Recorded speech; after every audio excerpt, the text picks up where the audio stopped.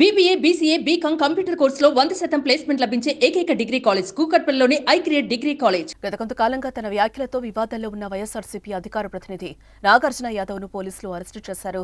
బెంగళూరు నుంచి వస్తుండగా కుప్పంలో అదుపులోకి తీసుకున్నారు. ముఖ్యంగా నారా చంద్రబాబు నాయుడు డిప్యూటీ సీఎం పవన్ కళ్యాణ్ పై అనుచిత వ్యాఖ్యలు చేసిన కేసులో అదుపులోకి తీసుకున్నట్లుగా తెలుస్తోంది.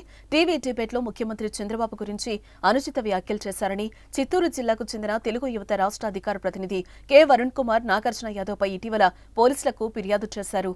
ఈ ఫిర్యాదు ఆధారంగా నాగార్జున యాదవ్పై కుప్పం పోలీసులు ఎఫ్ఐఆర్ నమోదు చేశారు.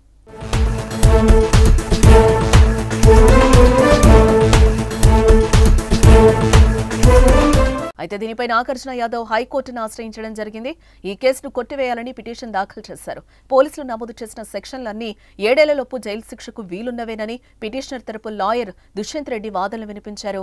ఫార్టీ వన్ ఏ నోటీసులు ఇచ్చి వివరణ తీసుకోవాలి తప్ప అరెస్టు చేయడానికి వీల్లేదని వాదించారు. పూర్తి వివరాలు సమర్పించడానికి నెల ఇరవై ఐదు వరకు సమయం కావాలని పోలీసుల తరపు న్యాయవాది వాదనలు వినిపించడంతో హైకోర్టు అప్పటి వరకు కేసును వాయిదా వేసింది. అయితే ఇప్పుడు నాగార్జున యాదవ్ను కుప్పం పోలీసులు అరెస్టు చేయడం ఉత్కంఠ రేపుతోంది. కోర్టులో ఉన్న కేసులో అరెస్టు చేశారా? లేదా కొత్త కేసు ఏమైనా నమోదైందా? అన్నది క్లారిటీ రావాల్సి ఉంది.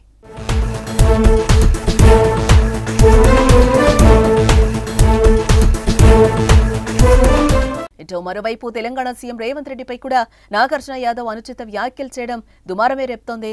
అతడిపై తెలంగాణలో కూడా కాంగ్రెస్ నేతలు ఈ నెల పన్నెండవ తేదీన పోలీసులకు ఫిర్యాదు చేశారు.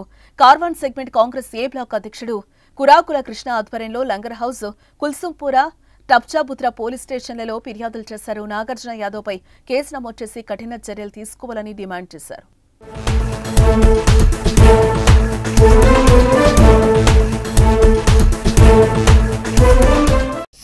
టీవీలో మీ పర్సనల్ అండ్ బిజినెస్ ప్రమోషన్స్ కోసం కింది నెంబర్కి కాంటాక్ట్ చేయండి.